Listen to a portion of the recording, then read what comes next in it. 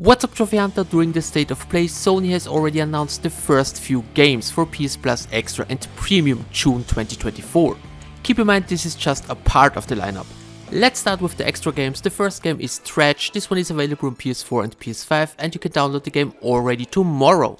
The base game comes with 40 trophies and is in relatively easy platinum. I'm not 100% sure but I think this one was already available for PS Plus Essential members. Next one is LEGO Marvel Super Heroes 2, only available on PS4 and the base game comes with 46 trophies. Another relatively easy but time consuming platinum. Please keep in mind a few trophies require a second controller. This one will be already available to download on May 31. Next one is Cricket 24, available on PS5 and PS4 and the game comes with 27 trophies.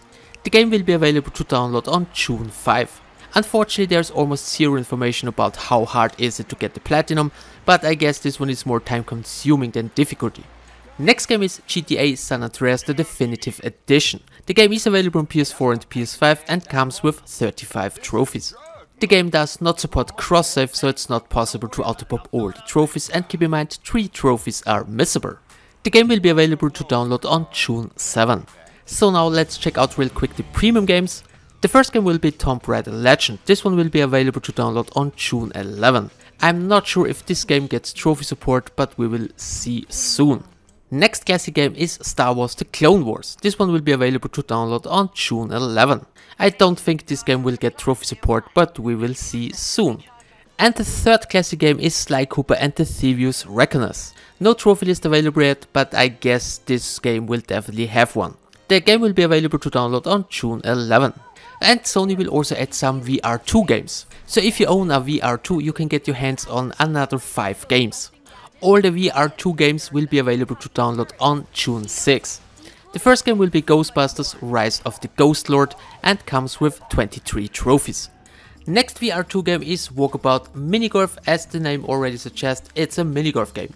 The game comes with 20 trophies and the platinum is a bit of a challenge.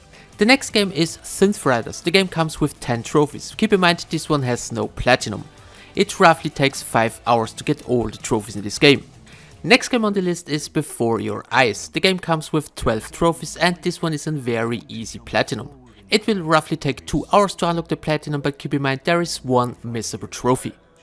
And last but not least is the game The Walking Dead Saints Sinners Chapter 1 and 2. The game comes with 46 trophies and is another relatively easy one. So guys, these are the PS Plus Extra and Premium games for June 2024, but keep in mind this is just a part of the lineup.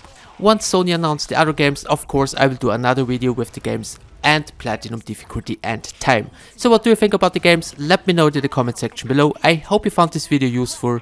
Thanks for the attention. See you my next one.